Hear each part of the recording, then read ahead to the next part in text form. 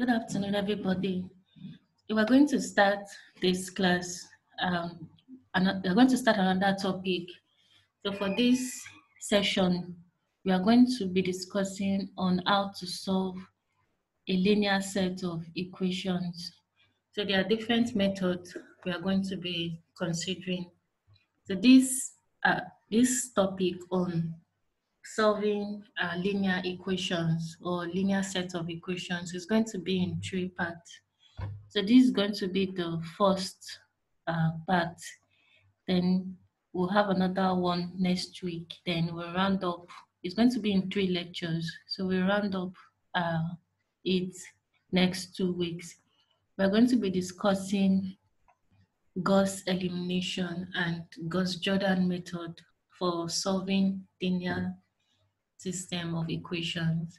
So given this set of equations where this A and this B's, they are the coefficients, and you want to solve for uh, x1, x2, x3 to xn. There are different methods that can be used. So we are going to we're going to discuss five methods in this class uh, the graphical method, the Cramer's rule, elimination of unknowns, and the Gauss elimination method and Gauss-Jordan method. So this class is just a refresher because I'm sure you have learned uh, it in your undergraduate, in your undergraduate. So it's just a, a refresher. So if you have, uh, I'm going to start with the graphical method. So if you have these two systems uh, of equations and they are both linear, and you want to solve for x1 and x2, so the graphical approach is to make um, x2 or either of the unknowns the subject of formula. So you're going to make x2 the subject of formula for this first equation then you make x2 the subject of formula for the second equation. Then after that, you're going to draw the you're going to draw the graph of both equations. Then where the equations, where the both of them meet, is going to give you x1 and x2. For instance, if you have these two sets of equations and you want to use graphical method to solve for x1 and x2, we are going to make x2 the subject of formula using this equation to get this. Then you make x2 the subject of formula uh, using this equation. Then you arrive at this. Then you're going to make a plot. So x is your independent variable, while x1 is your independent variable, while x2 is your dependent variable. In order to draw it, you're just going to use different values of x1. So I'm starting x1 from 0 and I stop at 6. Then you're going to use this function here to, to plot x2. Then I'm going to use this equation here to plot, to plot the second x2. So from my graph, this is the first x2 as a function of x1. And this is the second x2 as a function of x1. So where the two lines meet is the solution to the linear equation. So the point here is where they meet. So when you take it down to the x1 axis is 4. Then when you take it to the x2 axis is 3. So that means that x2 is equal to 3, while x1 is equal to 4. So we've been able to solve this equation using graphical approach. Then when you substitute the values you, you get inside, you arrive at 18 and 2. And this 18 and 2 is what is in the original question, 18 and 2, just to confirm your answers. So the graphical approach is quick and easy and very convenient. But how about if we have three sets of equations? So yeah, we, we just have two sets of equations. Yeah, x1 and x2. So if you have three sets of equations, that means that this is a two-dimensional plot, right? So if you have three sets of equations, you can plot it. That means it's going to be a three-dimensional plot. And you can use a tool like Excel or MATLAB to plot it, to plot three-dimensional uh, graphs. But how about if, if you have four, um, four sets of equations? I, yes, it's not possible to use the graphical method. So the graphical method would break down if you go beyond three equations because there's no how you can plot a four a, a 4D plot. I don't think that's possible. So you have to uh, look for another alternative. So uh, given this sets of equations, so we have three um, three sets of linear equations. In order to solve for the x, you can just arrange this equation in matrix form. So the a coefficient, since this is a tree, is three sets of equations, it's going to be a three by three matrix. Then the b coefficient is um is going to be a vector. So it's just going to be a one column vector. Then this um this matrix here, we can just call it A. This X here, we can call it X. Then this B uh, matrix, we can call it B. So to solve for X, we can just say the inverse of A multiplied by B. So we are going to be making, it's just, if you just use this or MATLAB, it's going to give you X directly. So we are going to uh, make use of MATLAB uh, in order to solve it using a, a software method. So it's MATLAB we're going to be basically making use of because MATLAB from its name, MATLAB stands for Matrix Laboratory. So one very good feature of MATLAB is that it's it's very good for solving matrix uh, matrix so anything in matrix form, it's very good and very easy and fast. So we're going to basically uh, making use of MATLAB as numerical tool for, for solving this linear set of equations. But all these methods, you should also be aware of them too in order to uh, solve um, linear sets of equations. So we, we made uh, we talked about the, the graphical approach. So we are going to uh, talk about the Cramer's rule. So what the Cramer's rule says is that if, since when given a set of equation, we can express it in matrix form, what the rule just states that, you know, you want to get x1, x2, and x3. So the rule says that to get x1, you get you find the determinant. You find the determinant of this matrix here. You'll find the determinant of this matrix, which is given by D. Then after this is the determinant of this matrix, then in your numerator is just going to be the, the original matrix. So for x1, in place of the first column, we're going to replace it with the B, uh, with the B vector in order to get x2.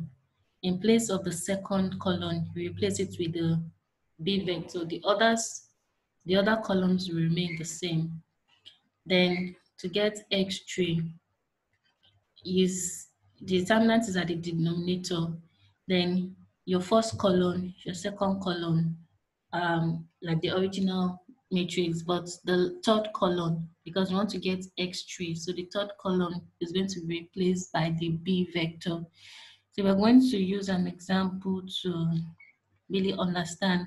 So given this set of equations, and we want to use Cramer's rule to solve for x1 and x2 and x3. So the first thing is to express this in matrix form.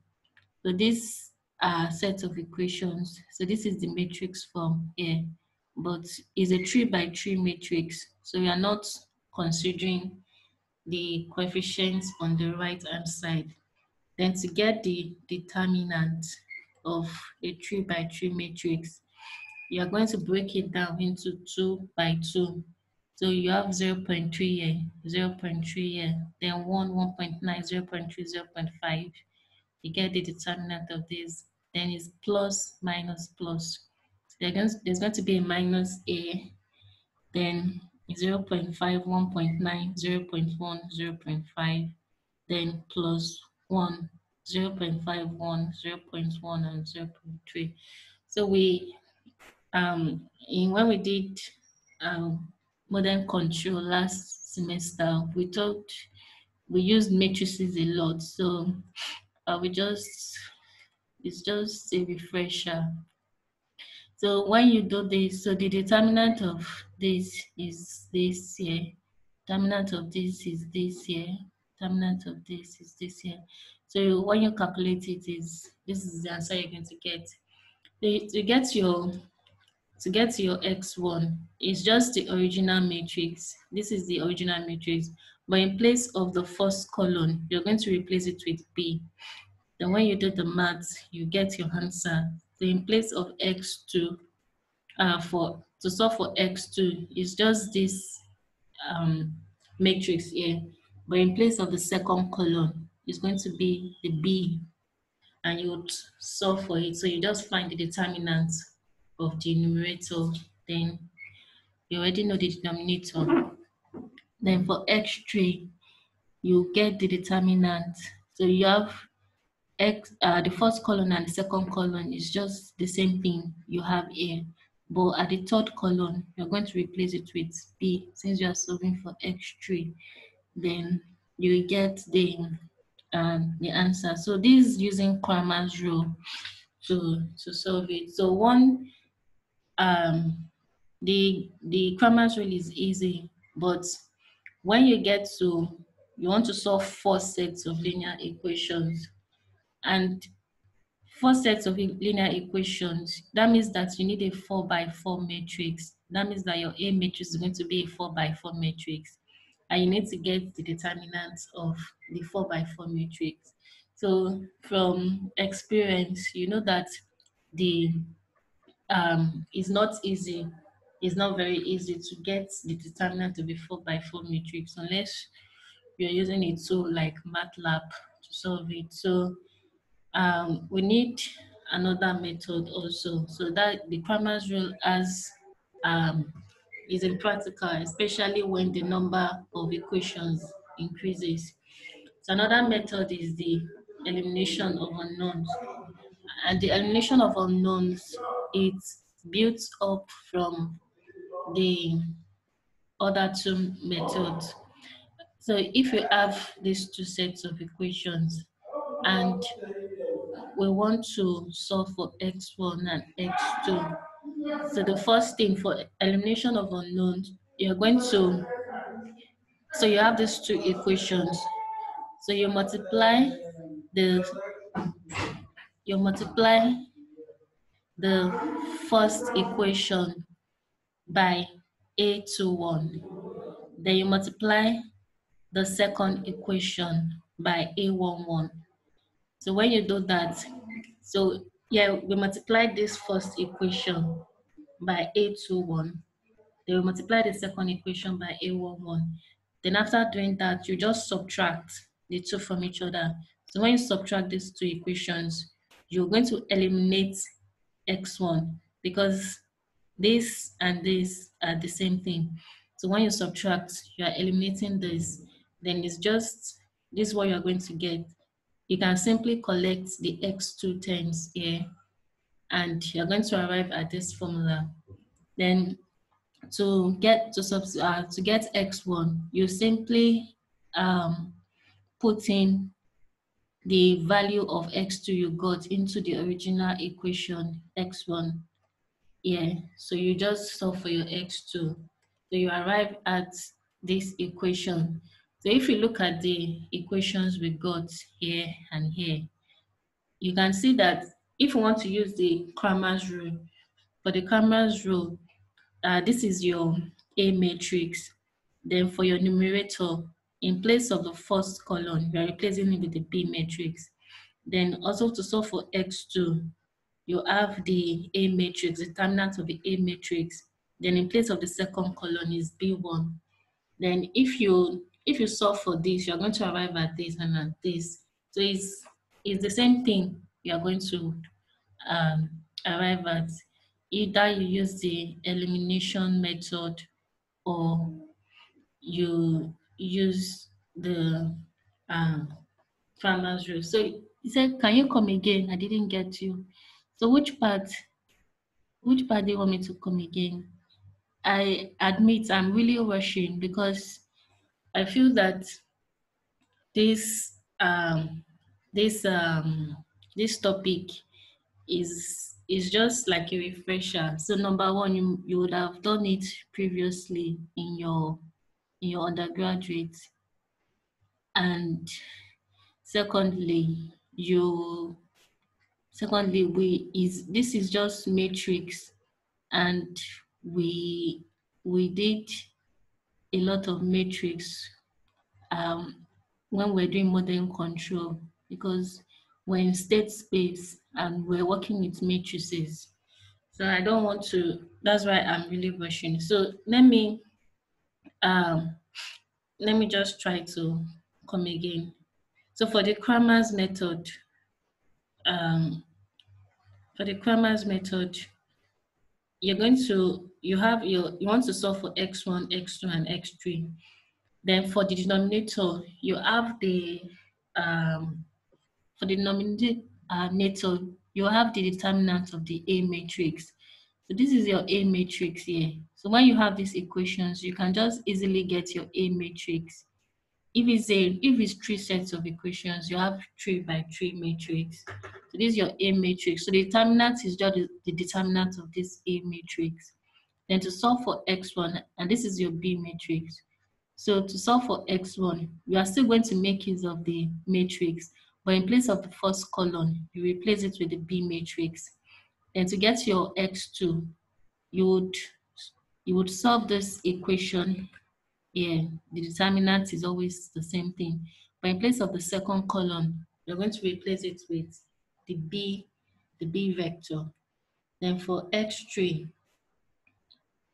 is, is the same A matrix, but instead of the elements you have in the last column, you're going to replace it with the B vector. So that's the Cramer's rule. Then for the elimination method, you're just simply eliminating the unknowns. So the first thing is that you multiply the first equation by A21. This A21, we got it from the second equation. So that's the first step. And the second step is that you multiply the second uh, the second equation by A11, the A11 of which you got A.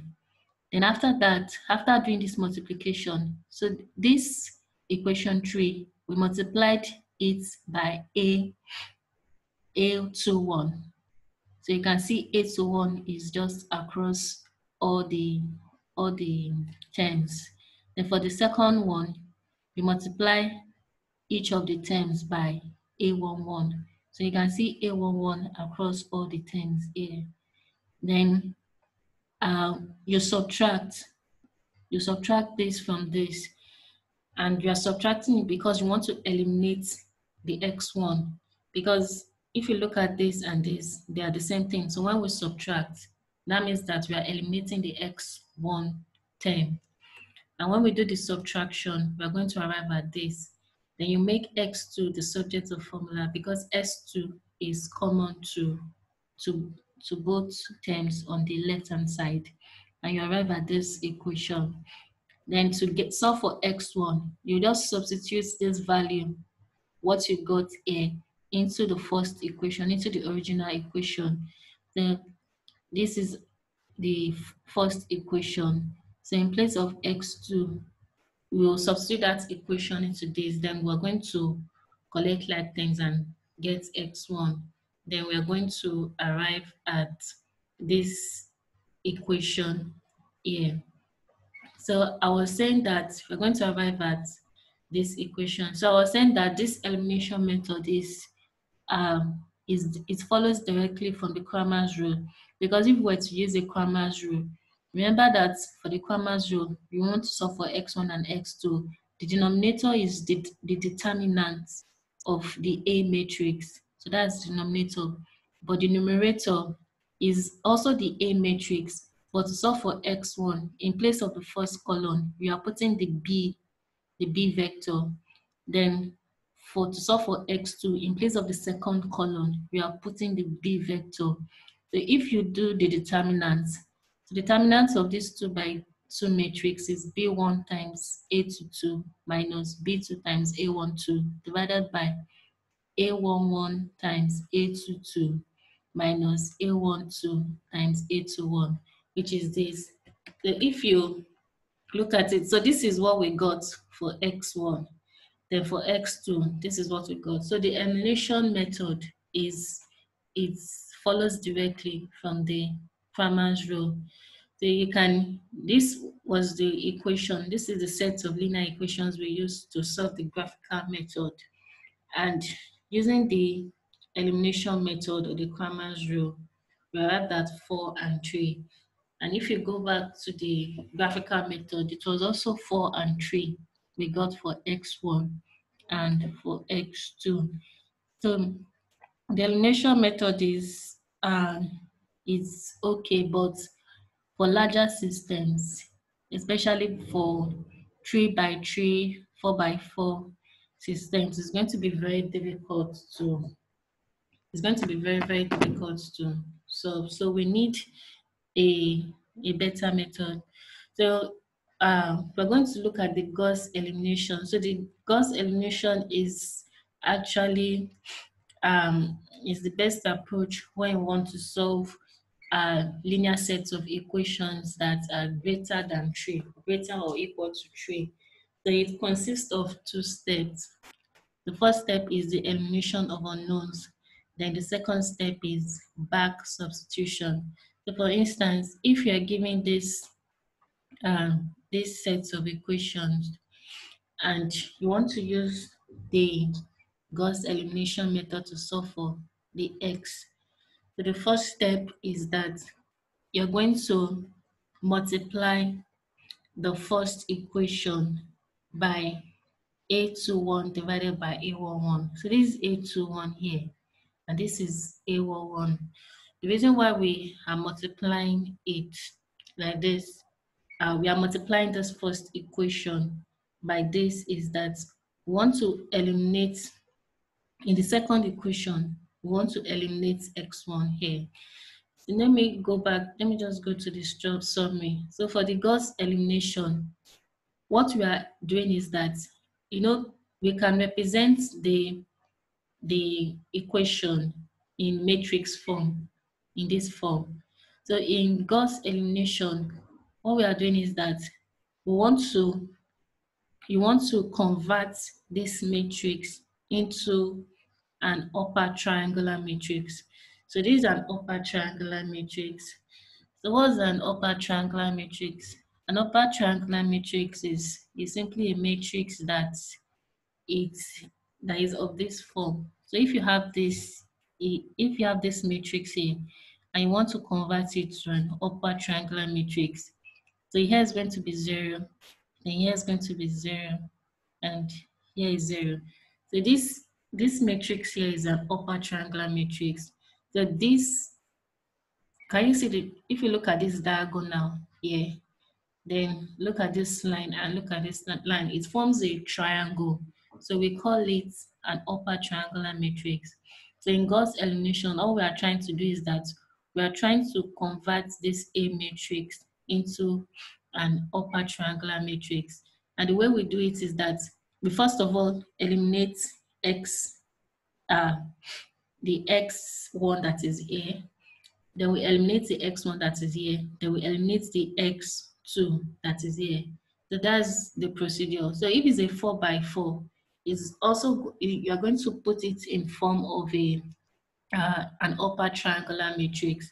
So the first step in Gauss elimination is to eliminate this one, is to turn this um, coefficient here to zero. After that, you turn this coefficient to zero.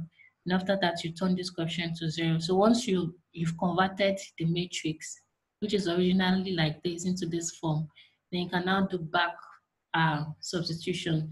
So the conversion of this to zero, this to zero, this to zero is called forward elimination.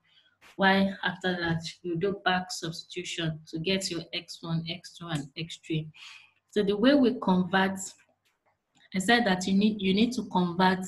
The first step is that you need to you need to convert the term here to zero. And the second step is, that you need to convert this term to zero. So in order to convert this one to zero, the strategy is that you multiply the first equation. This the first equation you are given. You multiply it by a21 divided by a11. So this is a21 here, and this is a11 here. So when we multiply the first equation by a21 divided by a11, we're going to arrive at this. Then after that, you are going to subtract this from the second equation. And this is the this is the second equation. So what you've got here, you're going to subtract this from the second equation. Then if you, when you do the subtraction, x1 is going to be eliminated because this is the this is the second equation here and this is the equation we arrived at after multiplying the first equation by this so if you do the subtraction this is a21 and x1 this is a21 and x1 so when you subtract definitely you're going to zero out the x1 term so after subtracting here we arrive at this. So our x1 term is already zero, so it's missing. So we're going to move on to the next step. And the next step is to zero out this one, is to zero out this term here. So the strategy you use to zero out this term is that you multiply the first equation by a31 divided by a11. So you multiply to zero out uh, the next term. So you multiply the first equation by a31 divided by a11. Then after doing that, you are going to subtract that multiplication from the third term. So when you do that, you are effectively zeroing out this term here. So after zeroing out this and this, the next step is to zero out the last zero. So remember that we want to convert uh, after zeroing out this and this, the if it's a tree by tree, the last step is to zero out this one, to convert this to zero. And to convert it to zero, we are going to make use of, so after the, um, after you zero out this, this, and this, then you want to zero out this one. So to zero out this one, you're going to multiply this equation by A32 divided by A22, then the result of the multiplication, you're going to subtract it from this. Then you're going to replace that equation with this. So that means that you've zeroed out this. So it's kind of, my explanation is quite clumsy. So I will just go straight to an example because using an example we are going to understand it better.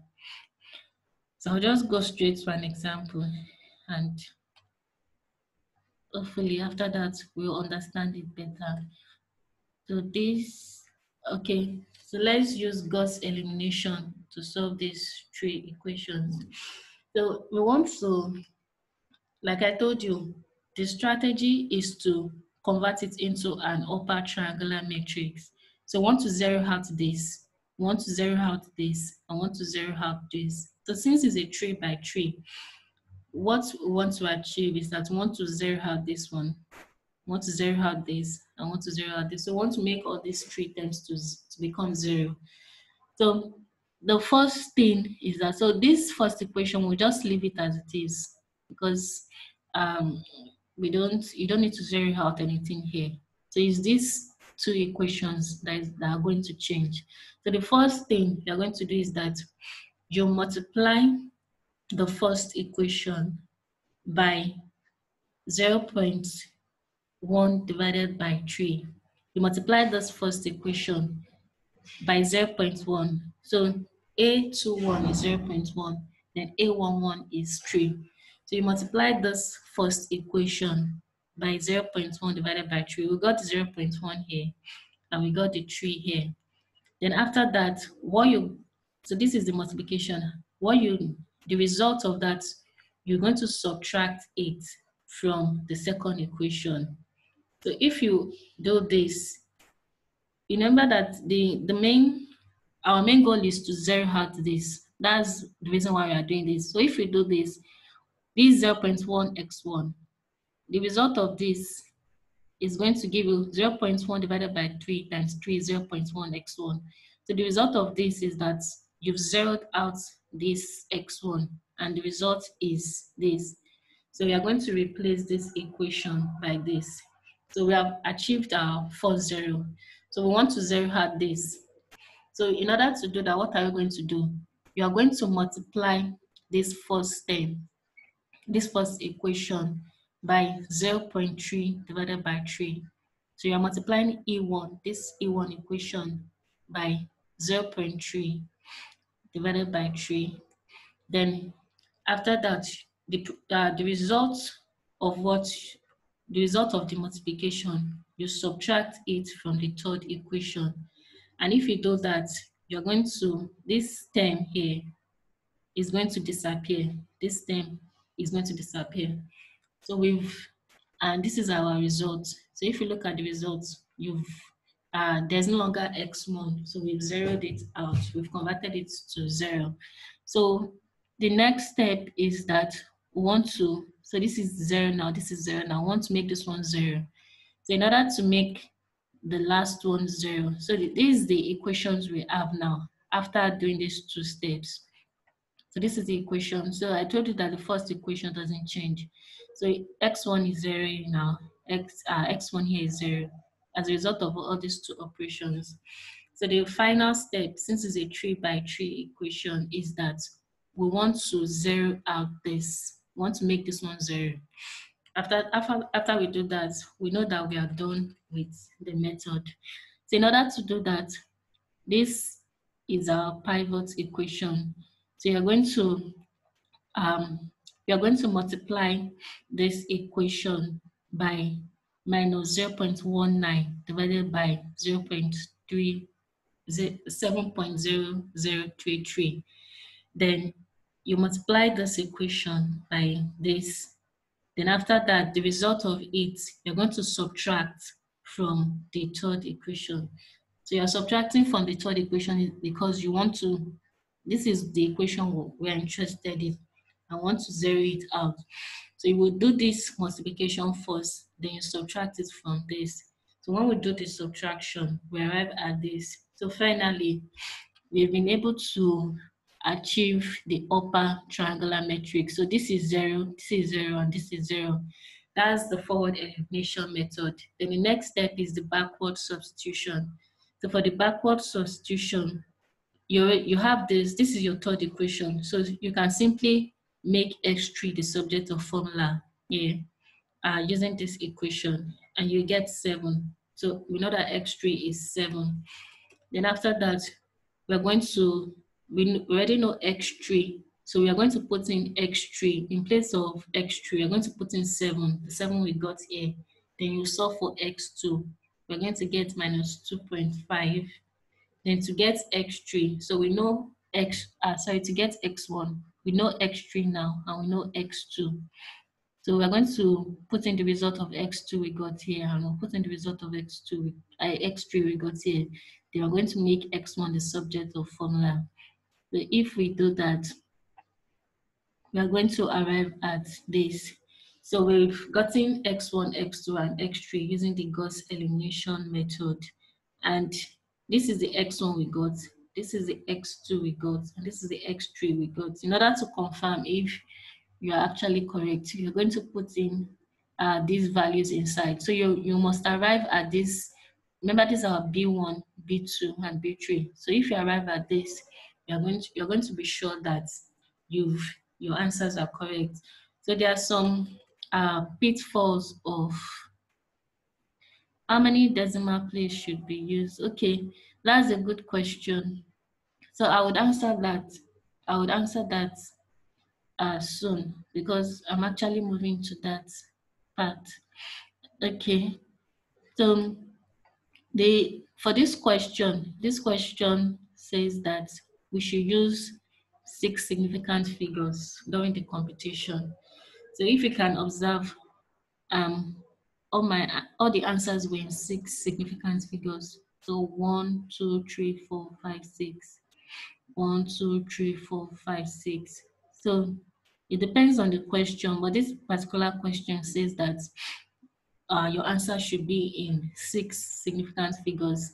That's why um, it's the the um, they are always in six significant figures. Well, I'm going to come back to that, and I would explain it fully. So there are some pitfalls or some downsides of the Gauss elimination method. So the first um, pitfall is division by zero. So for instance, if you are given these three sets of equations and we are asked to solve it using Gauss elimination method. So the first thing you would observe that the first equation, this first equation is our pivot equation and it doesn't have x, it doesn't have x1. So it's, it's effectively, this is like, this is like the complete equation since there is no uh, x1. So it's just like, this is what it is. So it means that since there is no x1, it means that your A1 one term is zero. And remember that uh, the, the algorithm for the Gauss elimination method is that you want to remove this one. And in order to, you want to zero out this, this one, you want to zero out this one, I want to zero out this one. That's just the algorithm. So in order to do that, we're supposed to multiply, um, we're supposed to multiply the first equation by this coefficient divided by this coefficient. So the first thing we're supposed to do if we're to use Gauss elimination to solve this is that we are going to multiply the first equation by 4 divided by 0. So here is 4 divided by 4 divided by 0. So 4 divided by 0. It should be 0. Then this was this is what we are supposed to do. Then the result of the result of what we got here, we are going to subtract it from so after doing this, you're going to subtract Okay, you're going to subtract. So this is Gauss elimination method. So this is what you're supposed to do. So, but now there's a zero here because there's no x1 term here. So if you if you do the 4 divided by 0, if you use your calculator, it's going to give you an error. So how are you going to are you going to do that? So that's one of the pitfalls. Divide the division by zero. If your first coefficient is zero, it becomes impossible to use the Gauss elimination method. So join me in the next. I'm going to stop